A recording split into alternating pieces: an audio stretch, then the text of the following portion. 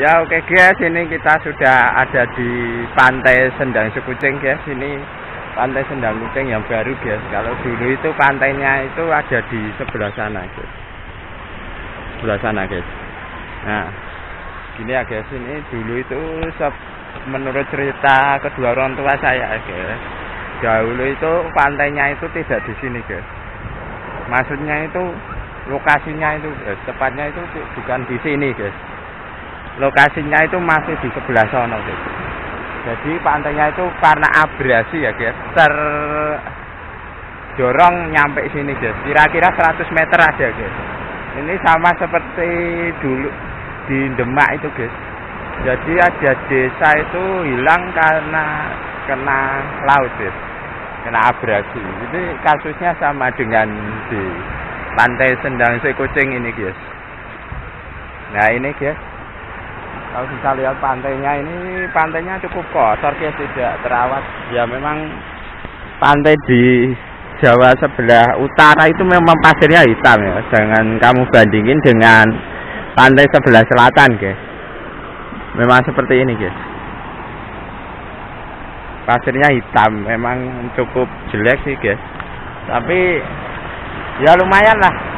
Dengan harga tiket masuknya murah ini guys 5000 saja untuk satu orang.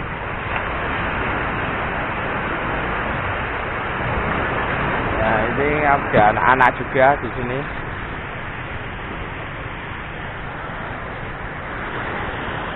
Kamu juga bisa sewa tenda di sebelah sana ini. Nah, ini ini ini buat kamu sewa bisa juga, guys.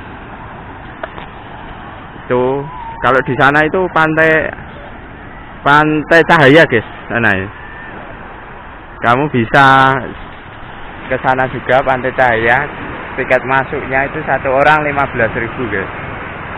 Yang terkenal itu Pantai Cahaya.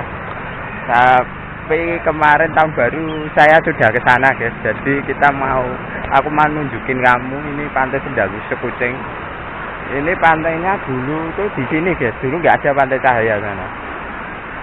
Jadi itu pantai buatan ya Pantai Cahaya itu guys. Pantai Sendalu pantainya di sini itu ya pantai Sendang Sekucing awalnya guys. Pantainya tapi dulu di sono itu. Tapi karena sudah sangat parah kotornya dan banyak rumah penduduk di sana ya ganti di sini guys. Tapi pantainya itu bukan mepet di sini ya guys. Seperti tadi yang saya katakan dahulu pantainya masih jauh di sono. Kena abrasi itu guys. Jadi dulu itu ada jalan di sini. Ada jalan tapi ya kena abrasi guys. Sisa-sisanya ini loh yang ada tempat orang nyapu ini. Sana itu loh. Itu sisa-sisanya. Ada jalan. Kalau ke sana ada nanti mas. Itu ya ada sisa-sisa. Nah ini. Ini sudah ada bangunan di sini. Sudah rubuh bangunannya kondisinya memang miris sih. Pantai di Jawa bagian utara.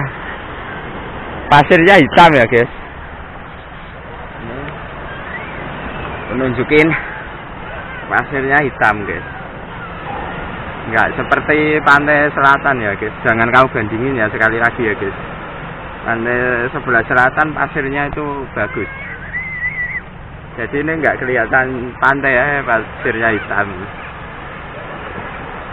tapi sih is oke okay buat liburan guys murah nih murah meriah.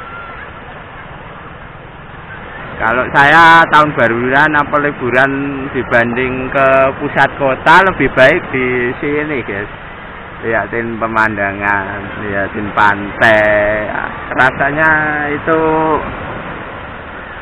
enak guys itu ada perahu guys ada perahu gimana ya ngejumnya ya nah mana ya? Nah itu guys.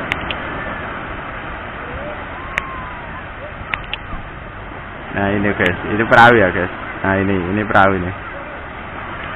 Ada perahu lewat.